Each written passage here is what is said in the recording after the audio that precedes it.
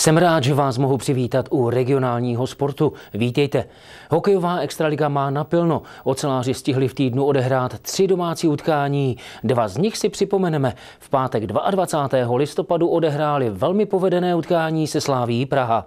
Do zápasu nastupovali sousedé v tabulce a navíc oba řekněme v lehké herní krizi. Třinečtí chtěli přerušit sérii tří porážek. Slávia se v posledních kolech opět houpala na těch slabších vlnách a i ona měla ve druhém utkání hraném ve Verk aréně motivaci sérii slabších výkonů ukončit. V úvodních minutách tohoto střetnutí byl domácí brankář Hrubec rozhodně zaměstnanější než kolega Furch na druhé straně. Do čtvrté minuty řešil hned dvě nebezpečné šance slávistů. V osmé minutě při přesilové hře Slávie ho znovu prověřoval Krenželok. Jen chvilku na to třinecký rufer z trestné lavice i celá Verk Arena sledovala úvodní branku zápasu. Špatnou rozehrávku soupeře získal Adamský, s dobrým krytím od růžičky prosvištil před Furcha a věšel zcela neumylně 1-0. V závěru třetiny brankář Hrubec znovu podržel spoluhráče v oslabení před dotírajícím knotem. Za odměnu se po druhé v úvodní třetině Martin Adamský rozjel proti slavistické přesile na ledě a opět nedal Furchovi ani možnost na střelu reagovat. 2-0 do šatny znovu v oslabení a vypadalo to na světelné tabuli velmi dobře.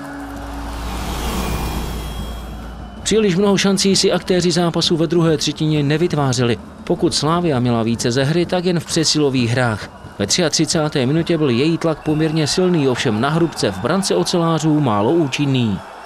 Přesilovka přece jenom slávisty lidově řečeno nakopla a ve druhé části druhé třetiny Slávia převzala aktivitu na své hokejky. V 35. minutě skokana s vypětím všech sil vychytal znovu Hrubec. Hosté nakonec velkého tlaku vytěžili snížení na rozdíl jedné branky po dorážce Vladimíra Růžičky. Oceláři ovšem odpověděli ještě v téže minutě. Nejprve se střelecky neprosadil Jirka Polanský, aby v zápětí namazal Orsavovi na třetí branku. Do 640. minuty poslední části se čekalo na další gól a přišel do sítě hostujícího Furcha. Znovu po chybě slávistů při rozehrávce. Květoň předložil Peterkovi na zlatém podnosu a Třinec vedl 4-1. Jen chvilku na to v téže minutě Klhůfek na druhé straně korigoval na 4-2. Ve 54. minutě vytáhl třinecký brankář Hrubec klíčový zákrok utkání, když uhájil slavistickou přesilovkovou šanci. Tři minuty na to Květaň po spolupráci s Peterkem vnesli do hry domácích uklidnění v podobě páté branky. Oceláři ukončili sérii tří porážek s papírově slabšími týmy a potěšili třinecké ochozy pěkným zápasem a plným bodovým ziskem. V neděli 24. listopadu opět doma zahráli pro téměř 4 tisícovky diváků další velmi kvalitní utkání s Kometou Brno. Oba týmy vstoupili do utkání velmi živě a o zajímavé okamžiky na obou stranách nebyla nouze. V páté minutě průnik Gorsavy zůstal bez povšimnutí rozhočích.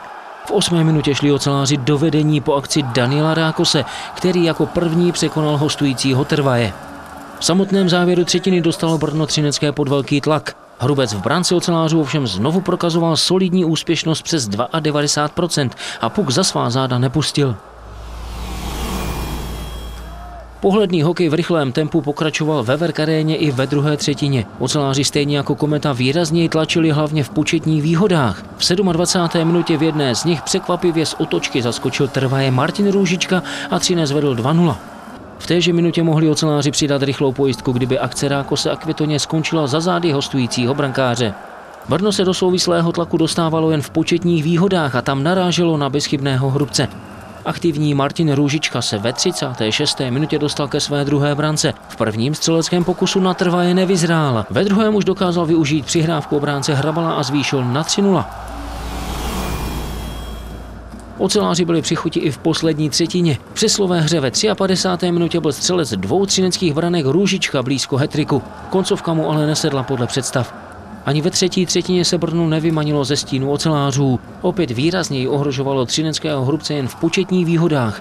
Domácí mák byl ovšem nepřekonatelný.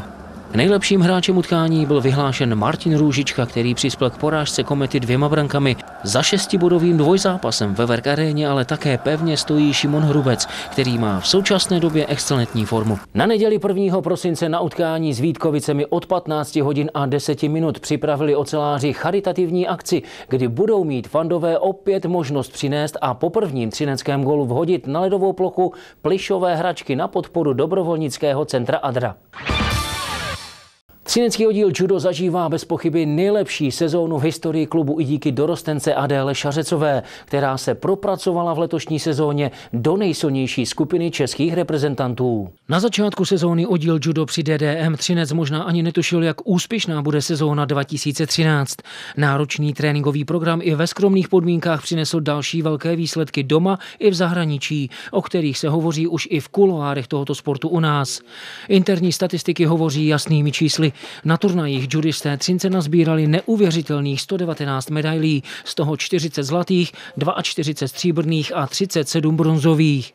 V přední linii domácího žebříčku jsou čerstvé mistrině České republiky v kategorii starších žaček Helena Šokalová a Zuzana Janičková. Na pomyslném trůnu momentálně sedí jedna z nejlepších českých reprezentantek Adéla Šařecová. Adela letos startovala ve třech kategoriích. Ve svojí dorostenecké obsadila druhé místo, to bylo poměrně nedávno. To vlastně v finále šla zcela vyrovnaně, dokonce myslím, nemyslím, jsem přesvědčený, že byla lepší. Malá chyba, hloupá, tři vteřiny před koncem zápasu ten zápas rozhodla, ale to nevadí. Jako mě, pro mě je důležitý ten projev na Žiněnce a byla opravdu lepší. Na juniorském mistrovství České republiky vyhrála, a mezi ženama obsadila třetí místo. Tam ještě opravdu musí pracovat trošku. Můj největší úspěch byla ta zlatá z juniorek a to jsem nečekala, tam jsem nebyla tak dobře připravená, spíš jsem si věřila eh, na ty dorostenky, kde jsem byla stříbrná, tam bohužel ve finále jsem to pokazila ke konci. A ty ženy to bylo takové jenom třešnička na dortu. A ty ženy české se asi už eh, trochu začínají bát, že dorostenka jim začíná šlapat hodně na paty, tak jak to vnímáš, že, že, si, že teď patříš vlastně ke špičce české? No určitě jsem tím potěšená, že když někde přijedu a řík, kterou jdeš váhu, říkám, no jdu tu a tu. Ne, to jsem nechtěla, aby si šla se mnou, tak tak potěší. K domácím úspěchům letos přidala fantastické výsledky v zahraničí. Ještě eh, koncem zimy se kvalifikovala na poslední chvíli na mistrovství Evropy, kde ale podala vynikající výkon, eh, vyhrála čtyři zápasy, mimochodem v druhém kole porazila úřadující mistrně Evropy což nakonec teda znamenalo páté místo a díky kterému se dostala nebo kvalifikovala na mistrovství světa eh, v Miami, Americe a tam zase neudělala ostudu a obsadila deváté místo. Úžasný, úžasný výsledek. Vůbec jsem nepočítala s tím, že bych se mohla být pátá nominovat se na svět. A když jsem na Evropě už vyhrála první zápas, druhý, tak už jsem se cítila, říkala jsem, že musím dál. A když jsem se dozvěděla, že jdu do, do Miami na svět, tak jsem byla šťastná. Vůbec jsem s tím nepočítala na začátku roku. Ani před tou Evropou jsem s tím ještě nepočítala. No já jsem hodně zhazovala a před vážením jsem říkala, že když takhle strpím, že prostě musím něco vyhrát, že už mi to nebavím takhle zhazovat a že, prostě, že musím už něco dokázat. A po prvním zápase, kdy jsem vyhrála, tak jsem říkala, dneska mám formu, dneska se na to cítím a podařilo se. Amerika určitě velký zážitek, zkus trošku přiblížit. Bylo to úplně něco jiného, než to se vůbec nedá srovnávat. Hlavně nezvyk to počasí, je tam strašné vlhko, tak to zhazování bylo těžké, ale bylo to úplně zážitek všichni si z celého světa a hned jsme se bavili, spolu jsme si povídali, bylo to tak super. Kromě mistrovství Evropy a světa se Adéla Šařicová zúčastnila i Evropské olympiády mládeže v Utrechtu, kde opět v silné konkurenci vybojovala sedmé místo. Těmito úspěchy se probojovala do elitní skupiny české reprezentace, která doslova otevírá sportovní obzory. V pátek 29. listopadu odletěla Adéla na dvoutýdenní tréninkový kemp do Japonska.